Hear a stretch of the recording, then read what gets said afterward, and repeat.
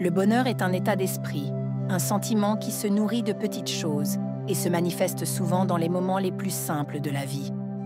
Il ne se mesure pas à la richesse matérielle, ni au succès éclatant, mais plutôt à la capacité de savourer l'instant présent, à apprécier ce que l'on a et à se sentir en harmonie avec soi-même et les autres.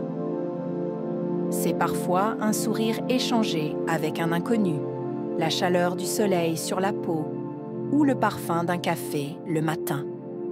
Le bonheur peut surgir dans une conversation avec un ami, dans un moment de paix intérieure ou même dans la solitude apaisante d'un livre.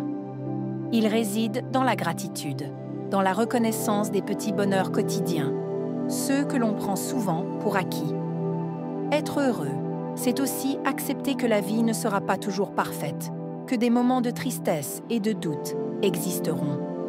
C'est comprendre que le bonheur n'est pas une destination, mais un chemin.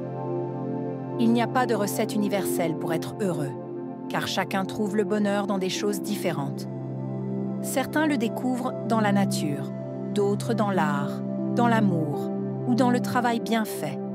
En fin de compte, le bonheur est une quête intérieure un choix que l'on fait de se tourner vers la lumière malgré l'ombre, de cultiver la bienveillance et de se réjouir de ce qui est plutôt que de pleurer ce qui manque.